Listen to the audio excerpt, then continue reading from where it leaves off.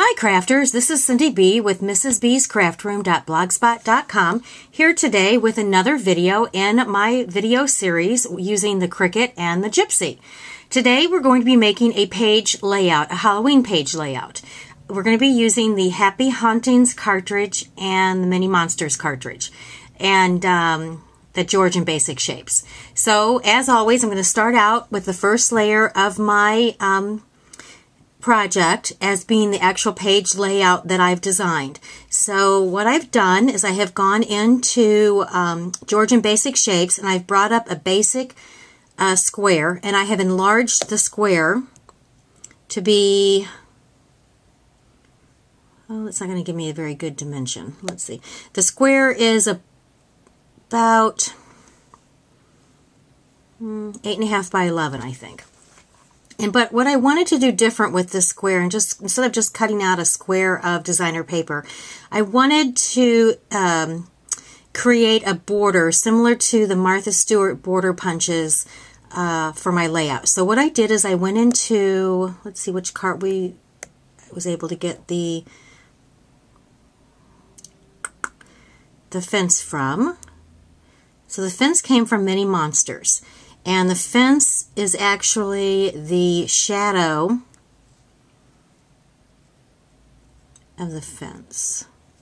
So it's key 10, 20, 30, 40, 41, 42, 43, 44, 45. It's key 45 on your keypad layout. So what I did is I picked that image, brought it back to the mat, and then I replicated it several times, copied it,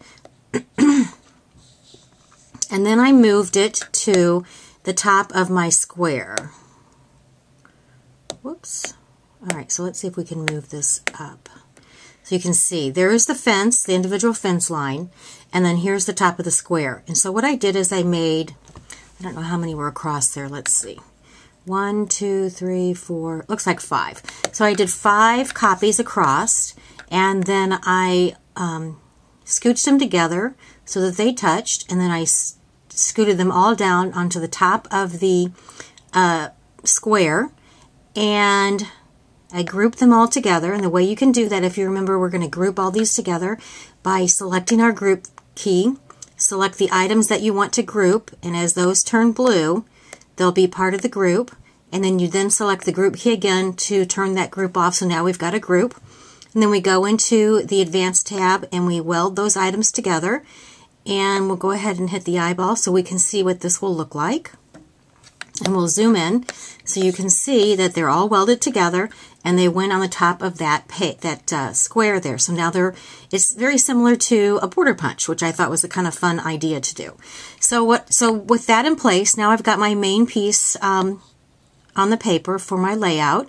Decided I wanted to go ahead and put the Haunted Mansion on here from Mini Monsters. So I've selected that Haunted Mansion and then I went ahead and brought that house over to the next layout, the next mat. And the house is sized at, why are these, oh my gosh, the millimeters are on, it was making me crazy. That's why I couldn't figure it out. Okay, so on your Gypsy you have um, the size is either in inches or millimeters. It was showing like a hundred and something, which I knew wasn't right. So I've changed it back to inches. So the house is 4 by 5.73. And I've gotten that off the Mini Mon Monsters cartridge, which is on keypad 10, 20, 30, 40, 42. so I've brought in the shadow to the house. And I've also brought in all of the layers. And if you remember, when I talk about in my previous videos, I talk about how to bring in the layers and the shadow the exact same size as your house so there's not a mistake. What I normally do is I highlight my item and then I'll go into the keypad. I'll select, I'm going to select the layer button. Then I'll bring in that particular layer, go back to my mat, and you'll see that it's all grouped together. You'll hit ungroup and then you'll be able to move that piece around.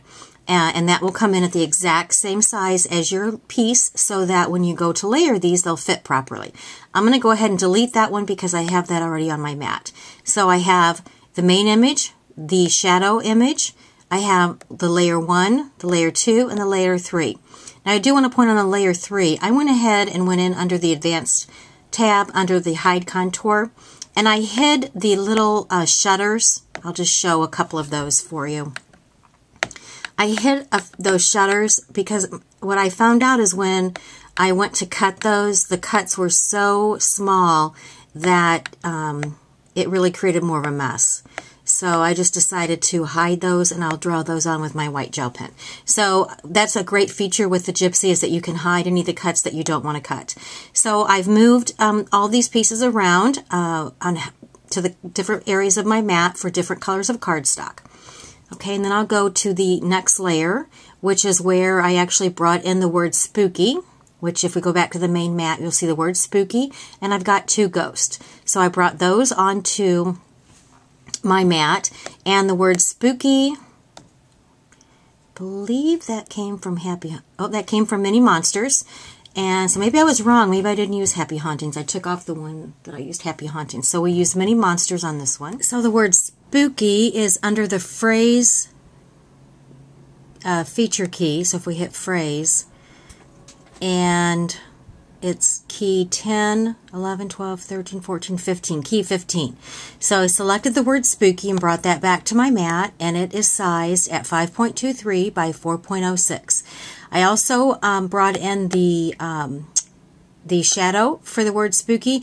Now, I will tell you it has a ghost on here. I don't know if you guys can see that. I'll try to zoom in so you can see it. It has a ghost on the word. I didn't want that ghost, so I cut him off. Um, it was really simple to do.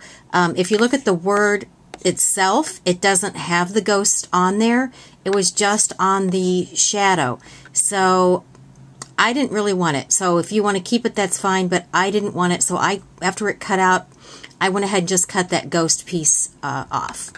Okay, and then for the two little ghosts, um, those also came from the Mini Monster cartridge, and they were on uh, let's see, they are key 10, 11, 12, 13, 14, 15, key 15. So I brought those in um, and I sized them at 2.07 by 1.82.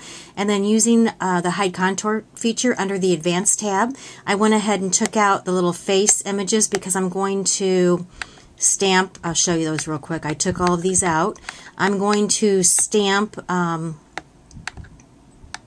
his little face with a peachy keen um, stamp, face stamp from one of the monster sets. So I went ahead and I made two of those ghosts and I positioned those in the places that I want to cut for the particular color of cardstock. And I'm going to go off and cut out my pieces and I'll be right back and we'll put the page together.